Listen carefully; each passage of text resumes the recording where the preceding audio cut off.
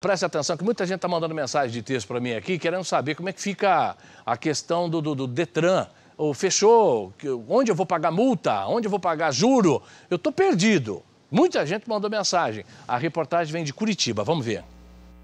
Luz apagada, cadeiras vazias. É assim a rotina do Detran há 10 dias. Mas para quem tinha contas a pagar, a notícia é boa. Quem tinha é, tudo que você tinha até o dia 19, é, você teria que ter pago. Agora, tudo que venceu do dia 19 para cá, 19 do 3, isso aí foi, foi prorrogado o prazo. Nós não temos ainda a previsão de quando vai reabrir, então a gente não sabe como é que vai ser lá na frente. Aí, dependendo de quando voltar, o Detran vai estabelecer as normas de como vai ser o pagamento disso aí sem a cobrança de juros, sem é, o usuário não perder nada com a pandemia. Para as contas que venceram antes do dia 19 desse mês, nenhuma mudança. Os juros estão correndo. O que não muda também é o prazo de pagamento do IPVA. IPVA é uma receita da Receita Estadual, isso aí não foi prorrogado, não foi nada, porque pode pagar pela internet. Renovações de habilitação e transferências de veículos são outros serviços que não têm como ser realizados nesse período. Para a primeira habilitação, o prazo foi estendido.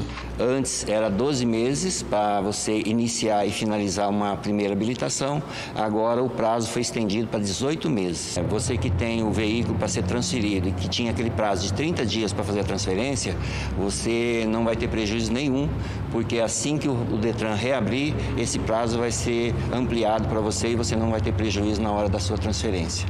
Tanto a transferência de carro usado, como também é, você você que comprar um carro novo hoje, você pode é, andar, circular só com a nota fiscal. Aqui dentro do pátio do Detran tem cerca de 2 mil veículos, entre carros e motos.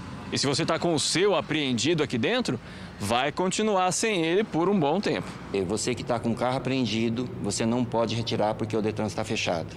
A única vantagem é que não está sendo cobrado diária mas o carro e é, no carro, carro e motos não tem como retirar. Ou seja, a pessoa só vai conseguir retirar quando reabrir, que não tem prazo, né? Isso, não tem prazo, não tem, a gente não tem noção de quando vai reabrir e com isso os carros e os, é, os veículos, né, carros e motos ficam apreendidos.